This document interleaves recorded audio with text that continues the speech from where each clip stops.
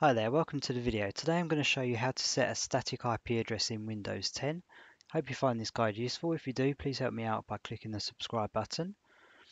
Okay, so the first step we need to do is we need to find out what IP address your machine is currently using.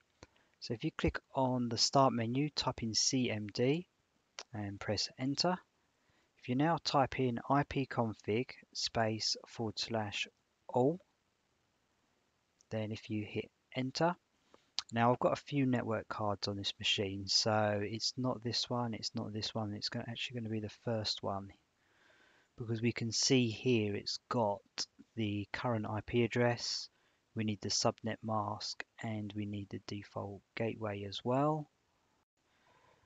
Okay, so now we've found the current IP address, we need to set it on in Windows. So if we just click on the start menu again, type in network, click on network and sharing center, change adapter settings, and we can see here this is the network adapter. So what we need to do is right click on there and go to properties.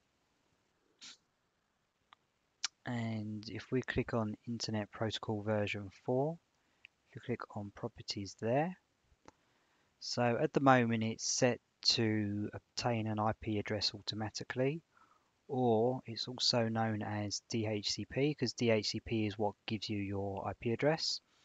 So whenever you connect to a network it should automatically get the address but if you want to set it manually so what we need to do is we need to select here then the IP address this one the IPv4 address we need to type that in here so it's 10.02.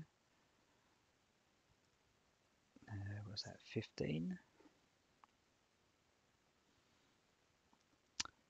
Then the subnet mask is 3255s.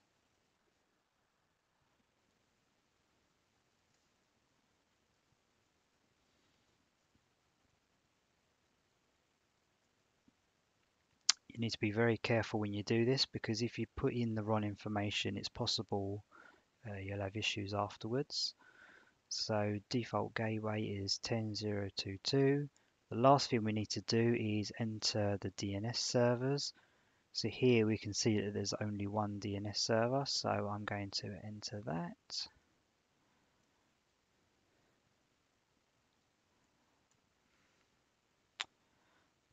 So every time you enter it in, double check to make sure you put it in correctly. Uh, as we can see here, I have done it incorrectly. So as long as you put these four options in, you should be good to go. So I'm just going to ping. So as we can see, it's resolving google.com. We're getting a reply.